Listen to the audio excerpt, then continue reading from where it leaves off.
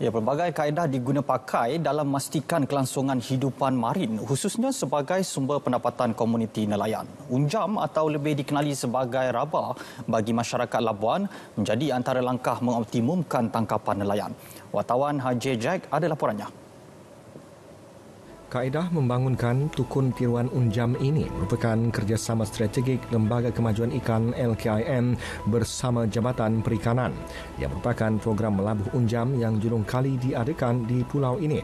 Bahagian yang dikatakan paling mencabar adalah mengangkat dan meletakkan unjam seberat hampir 200 kg ke tengah laut. Sebanyak 14 tukun tiruan terdiri daripada unjam buluh dan daun kelapa yang bernilai RM41,000 dilabuhkan di perairan Labuan bagi meningkatkan hasil tangkapan nelayan kampung. Apa yang menarik ini ialah uh, dengan keuntungan sebanyak 41,000 itu kita telah mengadakan secara uh, gotong royong atau muafakat di antara dua kampung tersebut dan ini menunjukkan satu benchmark yang mengatakan bahawa mereka boleh pergi jauh lagi jika sesuatu projek itu dijalankan secara kerjasama di antara kampung. Projek di bawah peruntukan pengurusan sumber ikan lestari ini dibina sendiri hasil kerjasama dua komuniti nelayan Zon A iaitu Kampung Tanjung Aru dan Kampung Lubuk Temiang.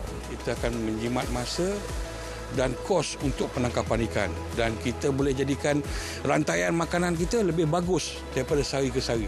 Tahun lalu sahaja, nelayan dari dua buah kampung berkenaan berjaya menaikkan tangkapan bernilai lebih 1.6 juta ringgit. Projek Unjam ini kepada nelayan ini sebenarnya dia adalah satu projek short term untuk nelayan cari ikan dengan lebih cepat berbanding kalau kita menggunakan tukun. Tukun mengambil masa yang lama lah untuk ikan-ikan tu membiak berkembang di satu tempat. Tapi dengan adanya unjam, kita memang fokus kepada ikan pelaji. Dalam tempoh dua minggu selepas diletakkan lebih kurang dua batu nautika dari pesisir pantai, tangkapan sudah dapat dibuat.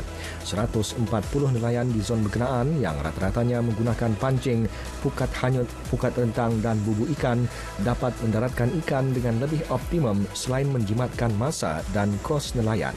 Harjejek Berita RTM.